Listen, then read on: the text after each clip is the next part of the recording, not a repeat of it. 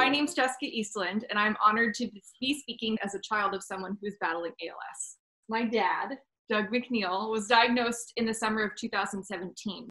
Before ALS, my dad was an extreme go getter. Anything he put his mind to, he did, whether that was work related or family related or related to his nonprofit, Lighting for Literacy. He was there and he was all there all the time.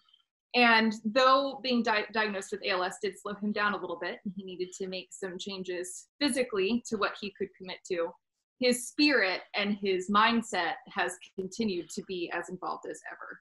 And despite being physically limited, he still runs his nonprofit, Lighting for Literacy, thanks to Tobii. And he still is involved in communicating with people on Facebook and talking with friends via email. I get the occasional fun text message to my phone. Just different ways where he's still building community with others, even though he physically is, is limited. Um, and he has a, a service above self mindset that comes from his deep roots in Rotary. And despite having ALS, he continues to show that even without movement, you can continue to serve above self in many other ways. And something he says frequently is that you can still build community when all you have is a smile. And he is living proof of. Over these last three years, we have needed to learn a lot about the disease, but also about grief, patience, and hope during some of the hardest days of our lives. The beginning of our family journey with ALS was confusing and the decision making process was definitely unclear.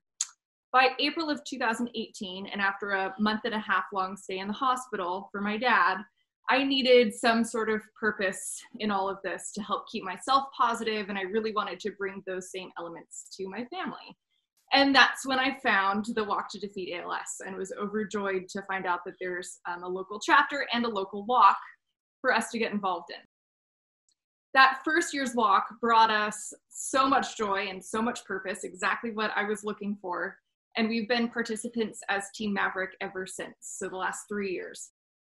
My dad told us not long after the first walk, and ever since, and I'm going to read a quote from him It has been my goal since diagnosis to do all I can to help others with this disease to spread awareness of the devastation it causes, to help find a cure, and to never let it stop me from serving above self despite my limitations.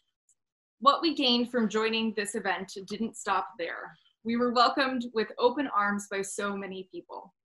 To this day, Asher Garfinkel, Jenica Lancy, and Kim Lembo check in on us, always ready with encouragement, connections, and support. Every time we see Megan Fisher at a local event, we are greeted with a warm smile and a hug. And our local care managers are at the ready to provide support not just to those with ALS, but their families as well. A big thank you to our care managers, Julie Skurick, Shannon Sonicson, and Kim Venezia, who've supported my family in our journey. From big things like helping coordinate home health needs to answering all of our questions in between and along the way, they have been there for us.